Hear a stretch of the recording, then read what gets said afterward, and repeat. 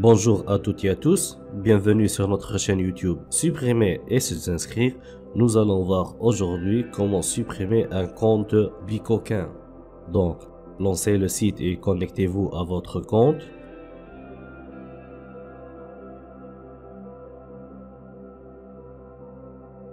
Cliquez sur l'icône de votre profil en haut à droite et sélectionnez Mes paramètres. En bas du menu affiché, cliquez sur Supprimer le compte. Insérez votre mot de passe et faites Continuer. Dans la nouvelle page, décochez toutes les cases.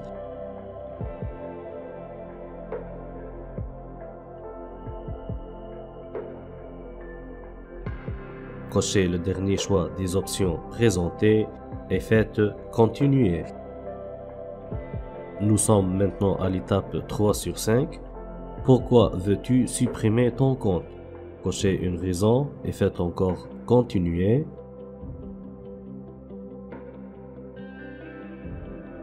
Sélectionnez Oui, je veux supprimer mon compte et cliquez encore sur Continuer. Ici, dans cette nouvelle page, le site nous dit que nous allons envoyer un code d'annulation sur votre adresse email. Donc, faites continuer. Maintenant, il y a une autre information. Le code sera envoyé dans une heure et il est valide pour 24 heures. Donc, n'attendez pas immédiatement le code. Ça va prendre un peu de temps. On va attendre quelques instants.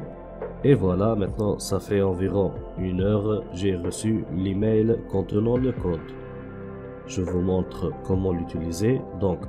Commencez par copier ce code. Revenez encore une autre fois sur mes paramètres, puis supprimez le compte. Insérez votre mot de passe et faites continuer. Maintenant, il nous demande le code, donc collez-le et faites continuer.